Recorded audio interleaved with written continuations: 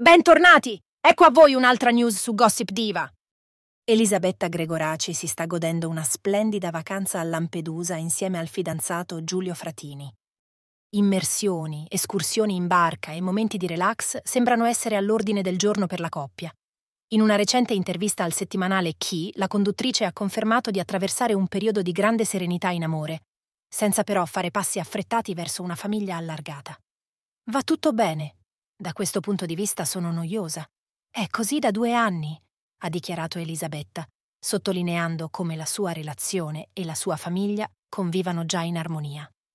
Tuttavia, le acque non sono completamente tranquille. La rivista Diva e Donna ha recentemente pubblicato delle foto di Elisabetta in compagnia di Alessandro Basciano a Capri. Le immagini mostrano un'affinità notevole tra i due, con momenti di complicità e affetto. In costume intero bianco, la Gregoraci è stata vista avvicinarsi a Basciano, mettendogli un braccio attorno al collo e scambiandosi sorrisi complici.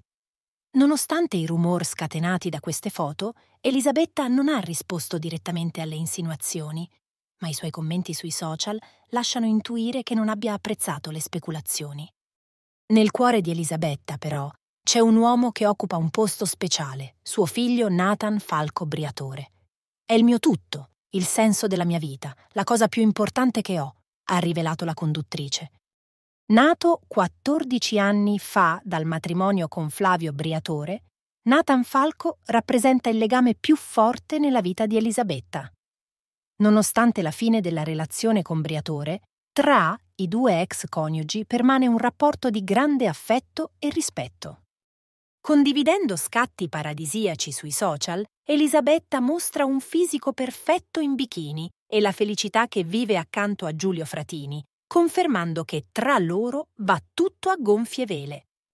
Non perdetevi il nostro video per scoprire di più sui retroscena della sua estate e su come affronta i rumor che circolano intorno alla sua vita privata.